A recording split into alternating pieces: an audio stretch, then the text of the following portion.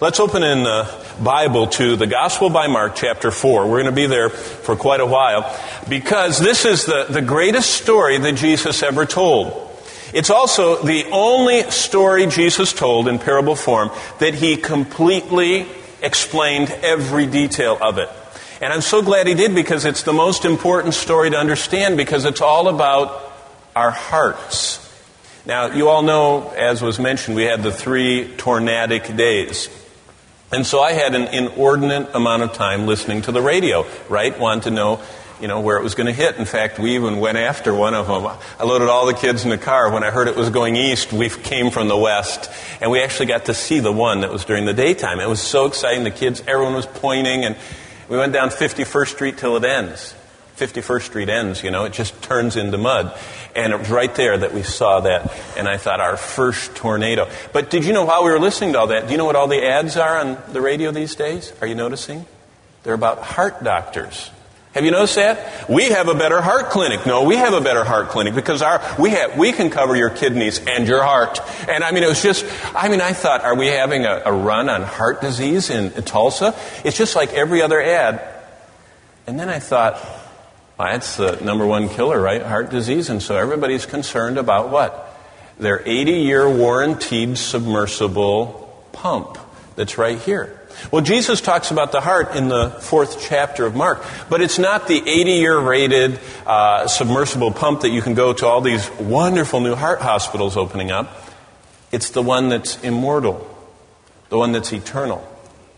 The one that's going to determine where you and I exist eternally. The decisions of our heart, of our soul, of our spirit, of our immaterial, eternal person. Well, that's what Mark 4 is all about. The supreme doctor of the human heart lets us in for the first and only time on one of his 35 parables. And he lets us in and does a complete, through this parable, heart checkup. Now, I thought about that. Mark 4, and of course the parallels in Matthew and Luke, are an incredible treasure. Because you and I get to come before the doctor of the soul, the doctor creator of the human body, and he looks at us and looks at our eternal part and says, Could I examine that? Let me tell you, by what I say, you know the condition of your heart. And you should know this and do something about it, is what he's saying. And that's what I hope we learn. Well, let's look at verse 1. We're going to read it in a moment. But this is, first of all, the scene. Now remember, every time we study the Bible, there's a scene. There's, a, there's an event that is picked out of the countless events of the life of Christ. And this event, uh, the setting, the scene that the author, God the Holy Spirit, has chosen. Last time we saw, this is the longest recorded day. It starts back in chapter 3, the longest recorded day of Christ's ministry. He has more events in this day, more teaching times, more interactions, more recorded events than any other day. I mean, he starts on one side of the Sea of Galilee, he makes his way around, then he crosses the Sea of Galilee, then he goes over and does a bunch of stuff there, and the big demoniac of Gadara, and then he comes back. It's all in one day. It's amazing what's going on. The day had a hard start. You remember his family fallout in chapter 3? They said, You're off your rocker and need a little help. They actually came to arrest him, we saw in chapter 3. Then the official rejection, the delegation from Jerusalem, they almost say that he should go back to hell because they said, You're from the devil. So they're really not very excited about his ministry, and that was earlier in the day. But now he's where he loves to be in chapter 4, verse 1. Jesus loved to be before a group of people that had open hearts, open minds, as he puts it, open ears to hear what he was saying. And he loved to interact with them. He liked to get their attention. And then when he had their attention, he liked to slip in some eternal truth and have them think about that. And that's what he does. In fact, he gives a short story, and short is no exaggeration. It's only 99 words. Now try and go to English composition and turn in a short story of 99 words and see what they give you as a grade, right? Most of us can hardly say anything. I mean, I'm already in the thousands of words this morning. And, and, and Jesus says it all in 99 words in the Greek text. In the English, it comes out to 132. But uh, in the Greek text, 99 words, he said it all. And there they are listening to him. And Jesus starts out by saying, Look, and he points off in the distance and, and draws their attention to something they all knew real well. It'd be like me saying, Look, there's a car. And we'd all look, and there was a car. And as soon as you see the car, you think, Yep, gas is a buck sixty something. And, you know, I wonder if they have car insurance. And, you know, you just, it's just part of life. Jesus said, Look, look at that farmer. And then he tells his story. And in that moment, before their eyes, as they followed the action of that farmer sowing, their minds were engaged with Jesus Christ. And Jesus points out the obvious, the earthly, the mundane, and in the process lifts their hearts toward the eternal and toward the inscrutable, toward the incredible reality of the human eternal soul. And he said, That's what I want you to think about. And so he speaks to them. Let's listen again and hear him tell this story. I'm going to start in verse 3 of chapter 4. Listen, behold, a sower went out to sow. And it happened, as he sowed, that some seed fell by the wayside, and the birds of the air came and devoured it. Some fell on stony ground where it did not have much earth. And immediately it sprang up because it had no depth of earth. But when the sun was up, it was scorched. And because it had no root, it withered. And some seed fell among thorns. And the thorns grew up and choked it, and it yielded no crop. But other seed fell on good ground and yielded a crop that sprang up, increased, and produced, some thirtyfold, some sixty, some a hundred. And he said to them, He who has ears to hear, let him hear. Let's bow together for prayer. Father in heaven, give us ears to hear. Lord Jesus, speak to us, to our hearts. And I pray that we would make choices this morning. If we have wayside hearts, I pray that we would allow you to break up that hardened ground. And let the word of your truth, the seed that is imperishable, come into our hearts. I pray that we would make room for you, that we would wonder why you would even say, Have you any room for me, my word? And we would think about it until we'd say, God must want me to respond to him. And I pray that there might be responses to you. First of all, in those who have never responded, whose hearts are impervious and impenetrable to your word through the wonder of regeneration. May they respond to your word. May it be implanted. And may it cause spiritual life, eternal life to come. And then for any Christians here who have become wayside hearted, the traffic of life has beaten them down. They don't get anything anymore out of your word, even out of these services, even out of Christian fellowship. I pray that, that they too would say, Lord, plow my heart, break up that stony ground, that hard pack, and let me hear your voice like I used to. Wherever we are, I pray you'd speak and we would listen. In the name of Jesus, we ask that. Amen. The scene we just talked about, the sower, Jesus pointed him to it. Now, let's take a moment to go back through and look at the story that he told. Because Jesus gives a familiar story. Look back at verse 4 that we just read. This is the soil under the path. And Jesus points to the farmland around the Sea of Galilee, which looked in this season of the year like a golf course. I mean, it's just, just luxuriously green.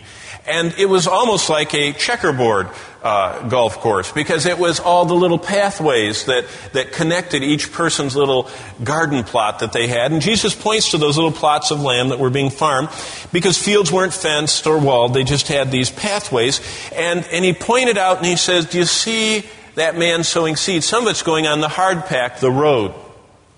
And they said, Yeah, we see that. And so that's the first aspect of the story. He said the rich soil under the path had become trampled regularly by many feet. It was hard packed like pavement, so the seeds wouldn't find any room. They wouldn't find a place. They wouldn't find any entrance into to that soil.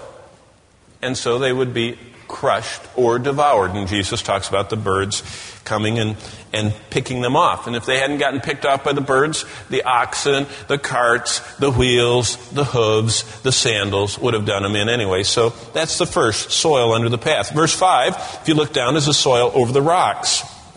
This describes the shallow soil, also common.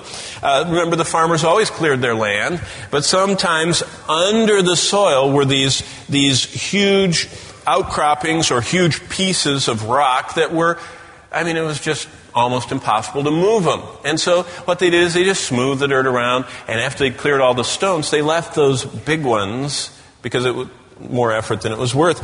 And so those sections, if you remember, with the, the thin veneer of soil, would be holding, the rock would hold, hold the sun's warmth, plus it would hold the, the rain and moisture longer. It wouldn't go down. And so it became like a greenhouse briefly. And so he talks about the soil over the rocks and the rapid growth, but then the equally rapid death of the plants who once that moisture that was trapped in a few inches was gone, were baked. They died. They were gone. So he tells that part of the story. Then he talks about the soil around the thorns. In verse 7, actually, there were thorn roots. No farmer would leave thorns out visible. They burned, then they plowed, they burn everything above the soil, then they plow the soil. But the problem is, below the soil were the, the very labyrinthical root systems of these native acantha thorns. And so Jesus tells that. And he says that, that these thorns, already having their root system, would come up faster than the seedlings, which had to wait to germinate. And therefore, the head start of the thorns would cause the thorns to grow up, sucking up the, the moisture, grow up, taking all of the sunlight. And so the seedling really never had a chance. And also, the thorn uh, bush and briars would have such big fibrous bodies, they'd crowd out. And so they would basically, as Jesus said, choke out the fragile little life. Then Jesus talks about in verse 8 the hero of the story, the good soil. And he points to the last condition of that other soil, and he says it's good. Good. Why? Because it received the seed. Good because the seed sprung out, and good because the seed came to full maturity and bore a crop. And that's, that's what the farmer wants. Remember, it's the same soil in all four pictures. It's rich, it's agricultural, it's the same farmer, the same seed, the same sun, the same rainfall. Everything's the same. It's whether or not they bring a crop. That's the whole story. And Jesus tells it. Jesus pauses after verse 8. In verse 9, he says, Now if you have ears to hear, hear. And only a few did. And that group comes to him and they say, We want to know more. And so look at verse 13. Because now Jesus gives the sermon. Okay, here's the scene tranquil lakeside, all these thousands of people listening. And then Jesus tells a story and he points off and everybody looks at it. And then he says, Do you have ears to hear? And a few, the disciples and others, says, We, we have ears, we want to hear. And they kind of mob him afterward. And they said, What did that mean? Why did you tell that? What, what are we supposed to get out of it? I'm so glad they asked, and we're going to read it. Because now comes the priceless message. Jesus takes the simple story and launches into one of the clearest explanations we could ever have about the inner workings of our hearts. See, that's what's the important part that Jesus wanted to get to. Jesus says, No one knows the heart like I do.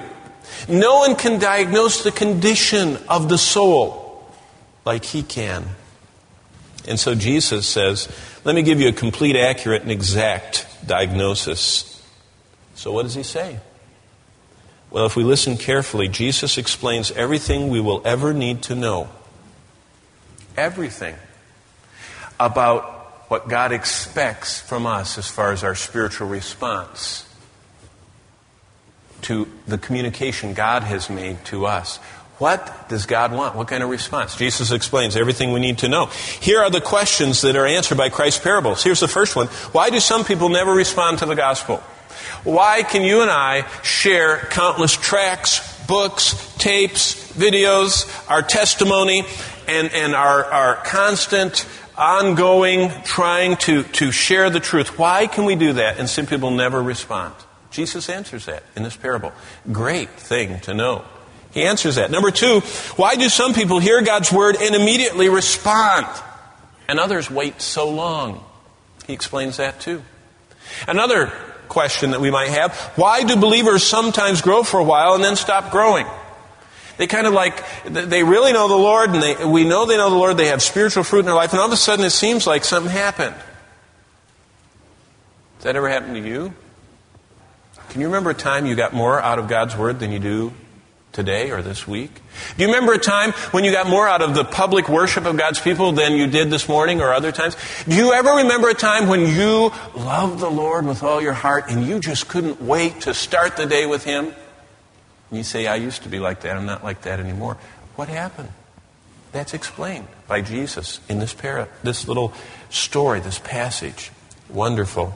What makes us cold as believers at times, and other times feel so distant from God? That's what he's talking about in this parable.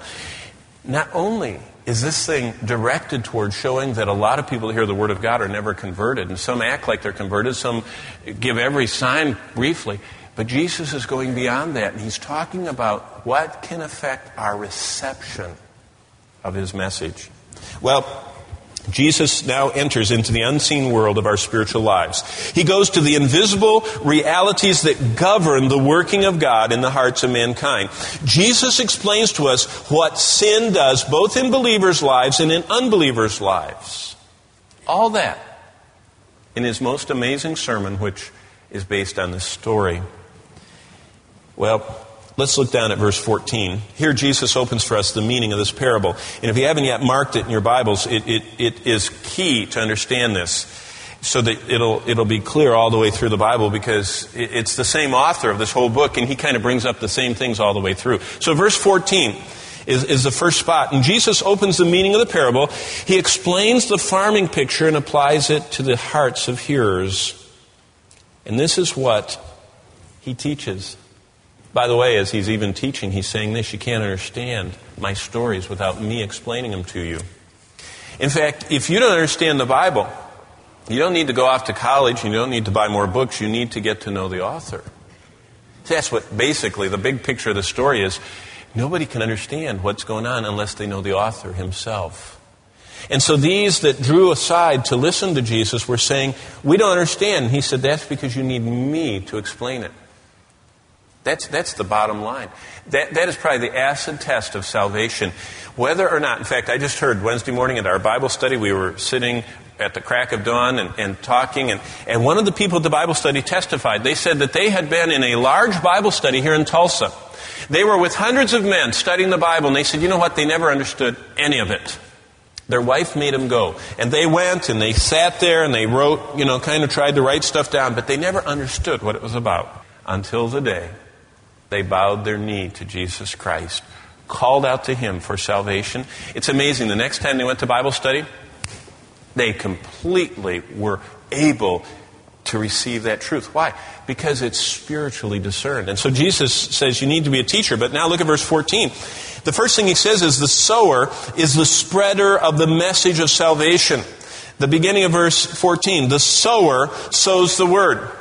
Now you say, where do you get that? Well, let's leave Mark for a minute. Turn to Romans. So in your Bibles, go to the right. It's Mark, Luke, John, Acts, Romans. Go to Romans chapter 10. Because all of us get to be, if we know Jesus Christ and obey Him, we get to do the sowing stuff. And it's one of the greatest privileges in life. Look at chapter 10 of the book of Romans. Chapter 10 in your Bible, verse 13. Because this should be something that, that draws all of us. We want to be this. Romans 10 13. For whoever calls on the name of the Lord shall be saved. Now, you all know that. That's a great Romans Road verse for salvation. But go to the next verse. How then shall they call on him in whom they have not believed? And how shall they believe in him of whom they have not heard? And how shall they hear without a preacher? And how shall they preach unless they are sent? As it is written, how beautiful are the feet of those, look, who preach the gospel of peace, who bring glad tidings of good things. Now, that's a sower of the seed of the Word of God. That's, that's what we're called to do. Have you been throwing out any seeds of the Word of God lately? Have you been going out proclaiming the good news of the gospel? Back to Mark, okay, Mark chapter 4, back to verse 14. Look what it says there. It says, The sower sows the Word. The sower sows the word. So it, it's not so much that we're supposed to go out and entertain people. It's not so much we're supposed to invent some new message. It's not so much that we're supposed to learn some technique, a captivating way. We are supposed to make sure, in, in however uh, vibrant or weak way, that we give the word. If you never get around to giving the word, then you haven't sown. Now, some, you know, water, but, but, you know, if you want to be a sower, you've got to sow the seed, which is the Word of God. Again, on Wednesday morning, uh, it was really fun. I pulled out, which, which I always carry with me. I have it right here. Uh, I always have a track in my Bible, and I pulled out a track and I showed the, the men's Bible study I was at how I witnessed, and I showed them how I circled the verses because I always want to get the people not to read the cute story and get teary about it, but I want them to be drawn to God's Word. And that's what the sower does. Look again at verse 14. The sower sows the word. So in Jesus' story of this farmer throwing this seed, what is the seed? It's the word of God. What's the seed of the word of God supposed to do? Well, that's why, remember I told you this whole book has the same author? It's the Spirit of Christ, the Holy Spirit, the Spirit of Christ the triune God breathing out this book. And so, because it's the same author, the same themes and truths come all the way through. Let me, let me show you. Just keep your finger in Mark. Let's go to the book of James. Now, that one's harder to find. It's almost to the back end of the Bible, but it, you know, James, 1st, 2nd Peter, you know, 1st, 2nd, 3rd John, Jude, Revelation, you know, it's after Hebrews. It's near the end. So if you want to go to the end and back up or whatever, but go to James with me, chapter 1 and verse 21. Here's an important verse to mark. Because if the seed is God's word, only the word that enters the heart and becomes a part of the life is real. That's what Jesus' story says. Now, he just says it, it springs up and brings forth fruit. And, and so a lot of people say, well, wait a minute, all of it sprung up in the other two soils. How do you know, you know, they're not saved? You know, da, da, da. Well, that's explained in the Bible. And look at James chapter 1 verse 21. Therefore, I'm reading Old King James, therefore lay aside all filthiness and the overflow of wickedness and receive with meekness, look at this, the implanted word which is able to save your souls. It's not just hearing the Bible. It's not just memorizing the Bible. It's not just studying the Bible. It's not just getting it at the sale and tacking it on the wall of your home. It's not just having it around on your mind. It's having it implanted into your life. Back to Jesus' story. It's the farmer. I mean, you can keep your seed packets.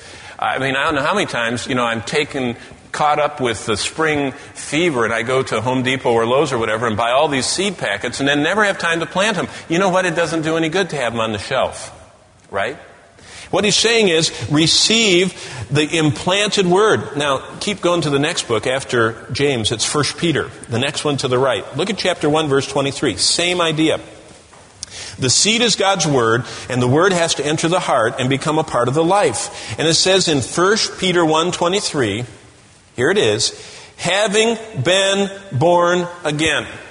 How do you know if you're born again? Okay? Good good thing to know not of corruptible seed, but incorruptible through the Word of God, which lives and abides forever. And in the context of, of James 1 and 1 Peter, that word is received into the life. It's a living and abiding word. It abides forever. It's incorruptible. It doesn't die. It doesn't get choked. It doesn't wither. It doesn't get eaten up by the birds. It doesn't get trampled. It doesn't ever end. Now, sometimes we constrict the growth of the Word of God in our lives. And we're going to see that as we go through this story. But if you're born again, it's never choked, it's never crushed, it's never dead. Why? Because 1 Peter 1.23, the seed is incorruptible, it's, it's immortal, it's eternal, it's living, it's God's Word. And therefore, the Word comes to live and abide in us, and it changes us. Well, back to, to Mark 4. You're going to know the pathway back to Mark 4. We're going to be there a long time because there are actually four parts to this sermon. Look at verse 15. He says the soil is the human heart. And so if you're marking it, look at the very last four words of verse 15 sown in their hearts. So immediately Jesus has gone from farming and garden and dirt to the immaterial part, the eternal part of us as human beings.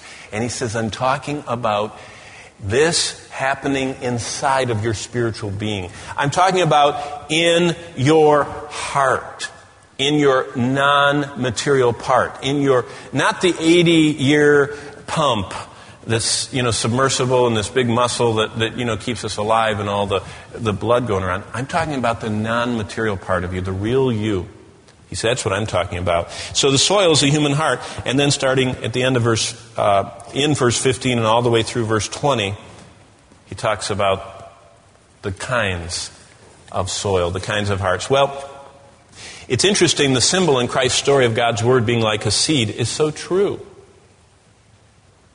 Have you thought about that? Did you know that we can't make seeds? Do you ever, ever thought about that? We can't make seeds. I can't make pumpkin seeds. I can't make geranium seeds. I can grow a geranium or I can grow a, a, marigold and I can collect the seeds at the end of the time. But you can't make seeds. They're part of God's creation. They are alive. And God's Word is alive. And we proclaim the gospel and it can't be our message. You don't have to think up your own message. That's, Jesus is saying that. That's why the same living Word makes no impact on some hearts. It's, it's not that you have the wrong message. If you use God's word and there's no impact, Jesus explains why. And let's look at that because we're going to go through now as he explains what's going on. First of all, in, in verse 15, these are the ones by the wayside. What are wayside hearts? Wayside hearts, number one, are, are the horrible indictment against lost people. People who go to hell have wayside hearts, or stony, or thorny. But wayside is the first one that Jesus describes. So, what does a person look like that is not going to eternally be in heaven? Well, listen, Jesus describes what happens when God's word falls on the wayside heart. When God's word comes to that person, the story says, verse 15 says, that God's word finds that heart impenetrable, hard, and insensitive. The word hits it, no response. Just nothing. It's just insensitive. The heart, it's impervious, it's impenetrable. Well, what's a wayside heart? It's a heart that's gotten hard and resistant. This heart is part of the same good soil. In fact, the good soil and the wayside are right abutting, they're adjoining. They, they are the very same dirt, the same soil. But the wayside has gotten packed down. It's gotten, it's gotten beaten down by time, by activity. Remember, we saw last week by all the constant carts, the hooves, the sandals, everything going along that path. That's what happens. It's a heart, spiritually, that is such a portrait of the unconverted. They hear sermons and forget them, surrounded by God's truth. Nothing sinks in. They're unstirred.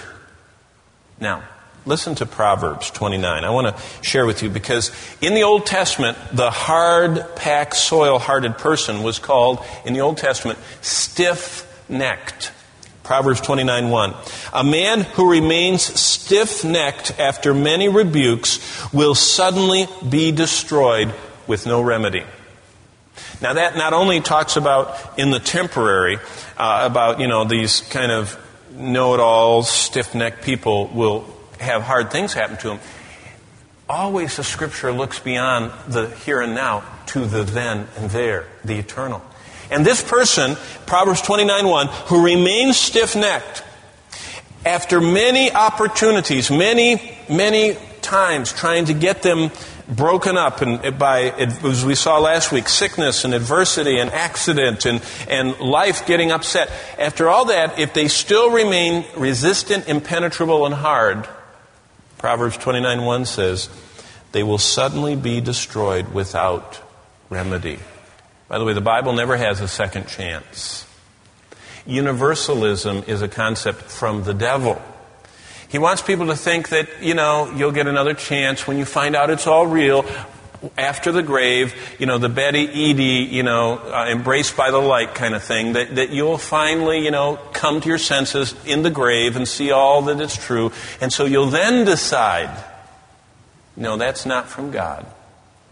That God is only the God of the second chance while you're alive and breathing.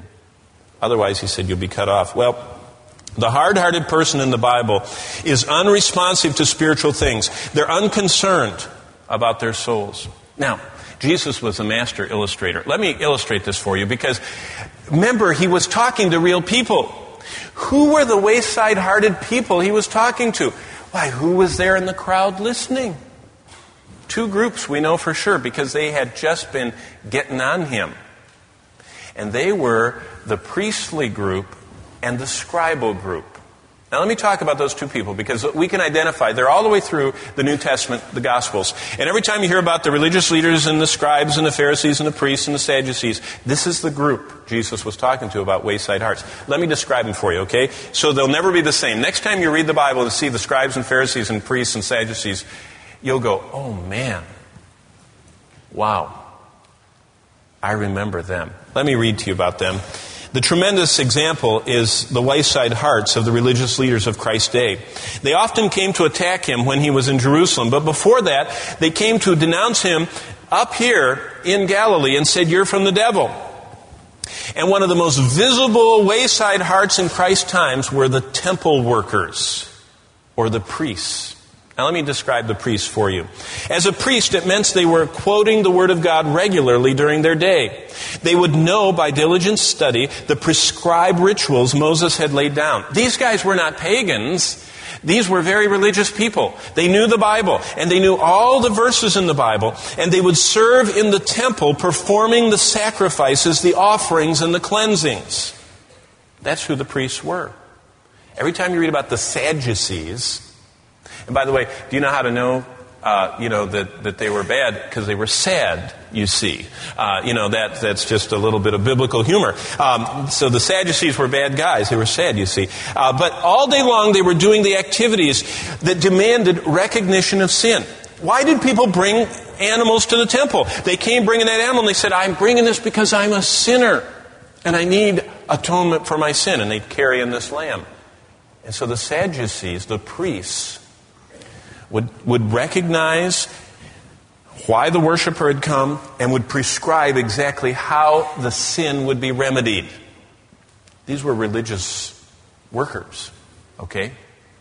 They were religious workers, temple workers.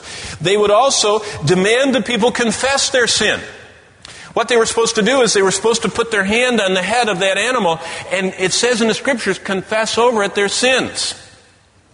So these guys were masters at understanding sacrifices and eliciting confessions of sin. And they knew the Bible very well. After they got that, they would offer a substitutionary sacrifice proclaiming the name of the Lord. That's, this went on for hundreds of years, generations of priests. If you want to read it, it's the boring part of the Old Testament. You know, when you read about and they cut the ox and they slashed it and they skinned it. That's what these guys did. Now, let's turn again to Isaiah. Turn back to the middle of your Bible, that's the Psalms. And then go to the right just a little ways to Isaiah. And we're going to look at Isaiah 29 13.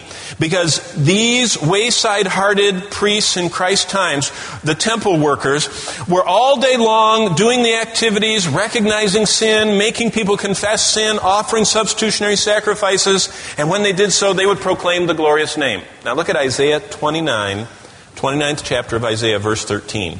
The Lord says, These people come near to me with their mouth they honor me with their lips, but their hearts are far from me. Their worship of me is made up only of their rules taught by men. Isaiah 29 13. Now think about it.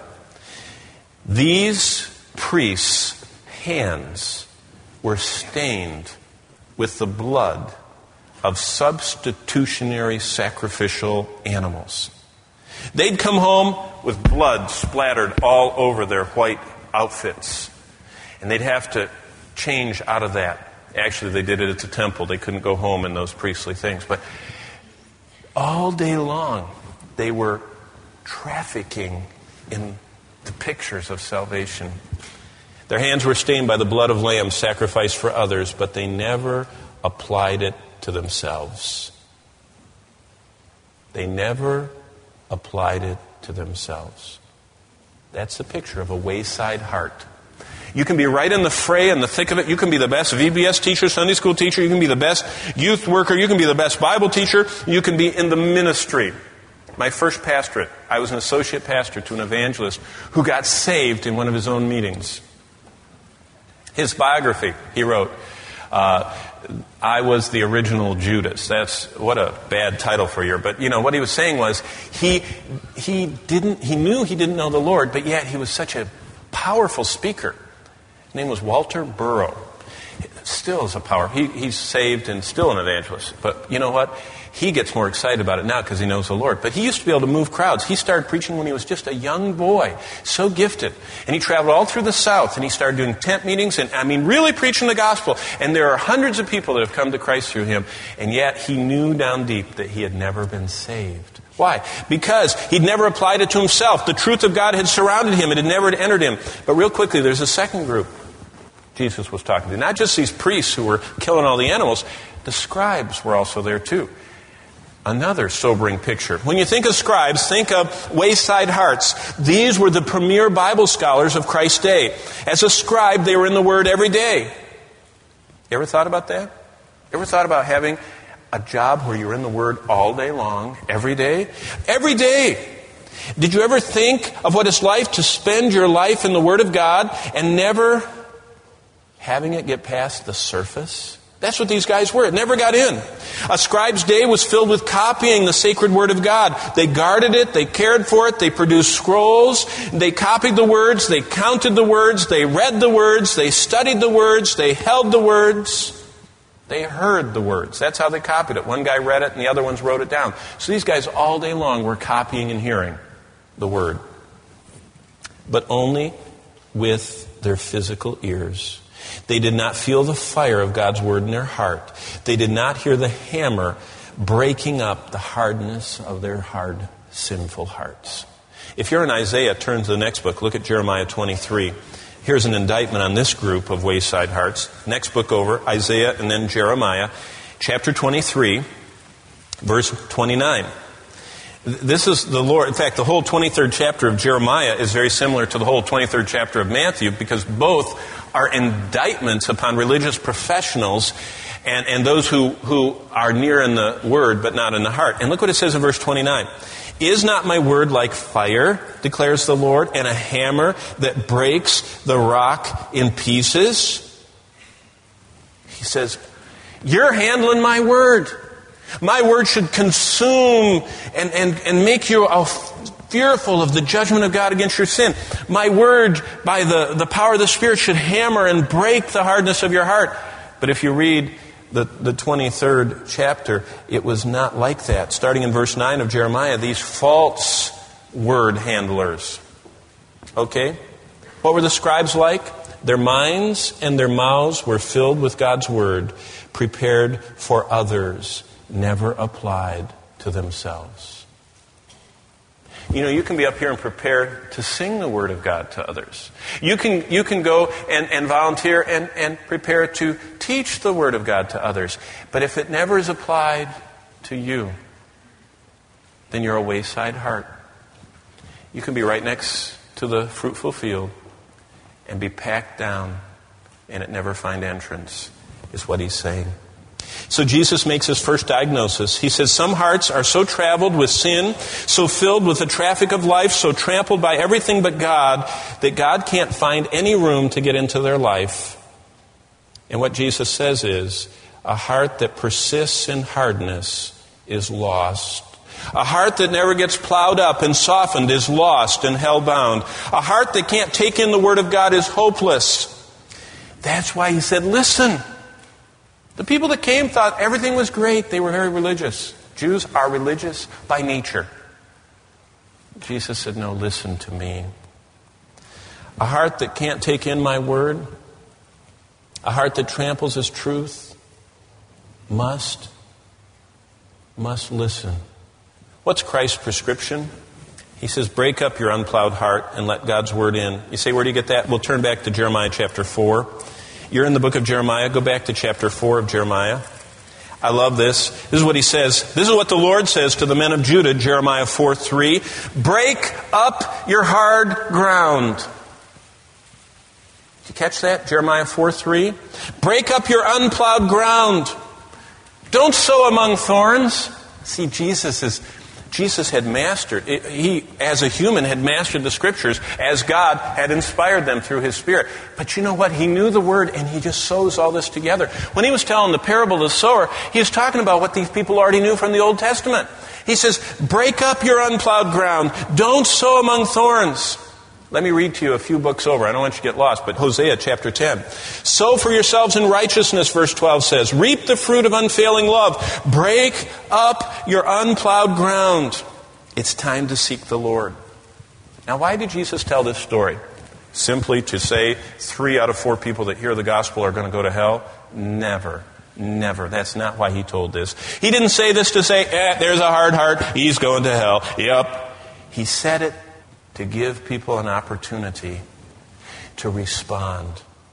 Why do you think the God of the universe tells hard hearted people, break up your unplowed ground, plow up your unplowed ground? Why? Because He wants them to.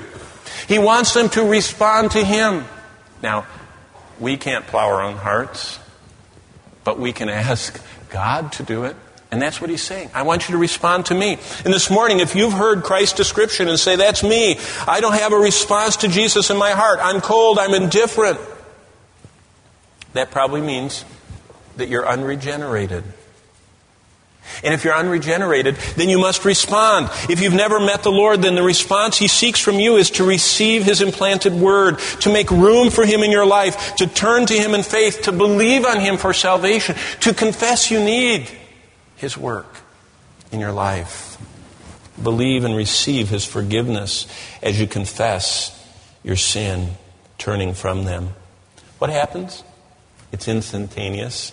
In an instant of faith, Jesus does the miraculous surgery of the spiritual heart. He removes the old one that's dead in the cancer of sin. He transplants in a new one that's alive and filled with His Spirit.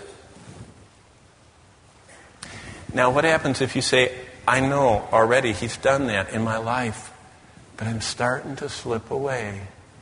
I'm starting to feel cold. I feel distant. I came this morning because I love the Lord, but I don't, I don't seem to be in touch with Him. Well, that's why He told this story. Because believers can get trampled down too. You get too much going in your life and there's no room for God. You get too many things and, and, and you allow sin to come back in your life and yield yourself to it and it tramples down the softness of your heart. It applies both ways. The same sin that hardens even more the unregenerate makes us distant from God and feel unsaved. I love what Daniel Webster Whittle, the guy that wrote this, I love the background of him, was a major in the, or the Northern Army, the Union Army in the Civil War, got his right arm blown off in the battle, was unsaved, was laying in the hospital, and someone passed him a Bible. I wonder if it was the early branch of the Gideons. I don't know. But they handed him a Bible, and there with one arm in the hospital, he was reading it, and he felt stirred, but he said, I don't want to yield my life to God, so he puts it away. And just then one of the orderlies comes along, shakes him, and says, Sir, you're a Christian, aren't you? The guy next to you is dying. Why don't you do something to help him? And he looked at me and said, I'm no Christian. They said, Don't tell me that. You're reading the Bible. Come on, help him.